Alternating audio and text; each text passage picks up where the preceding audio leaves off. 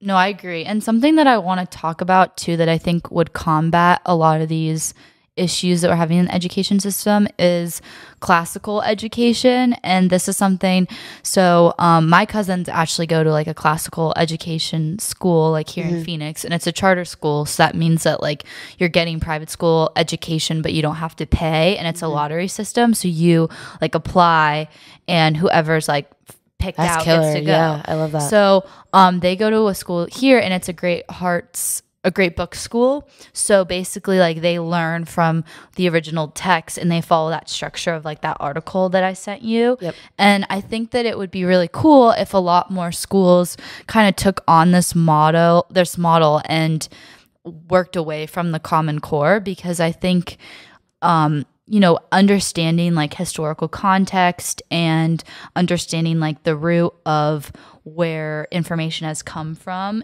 is really a valuable like skill set and a, will be applicable to whatever you decide to do as an adult, whether it's Mm-hmm. That's a timeless, or a career after college. You know, um, The thing that stood out to me the most in that article was it included that children un- younger than fifth grade Mm-hmm. have a mental predisposition during those early years to naturally ask more why questions, Mm-hmm. which is why kids are so inquisitive. Like if you're reading a book or they're like, what's this or what's that? Like they're more they more naturally ask those Mm-hmm. why questions but then at fifth grade and above the brain starts to naturally be more factual like yeah so what based it, what it said was the early years of schools of school is spent observe, absorbing facts systematically laying out the foundations for advanced study.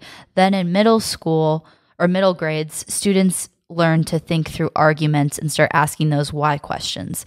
Then in high school they learn to express themselves and share their arguments. Mm-hmm. So like i guess the younger when you're really young learning like the facts and kind of the root of like grammar and that sort of thing is like the best time to learn that. Like even to learn mm-hmm. a second language, it's always best to do that. yeah because your neurons are just like Yeah. all of yeah Yeah. so flexible And then it's like figuring out those why questions and thinking through like arguments and then it's learning how to express applying it those arguments. Yeah. So it's like foundation, why, express. Like it's mm-hmm. kind of following that like flow. that makes sense You know, yeah no which it's it really makes a cool lot of sense.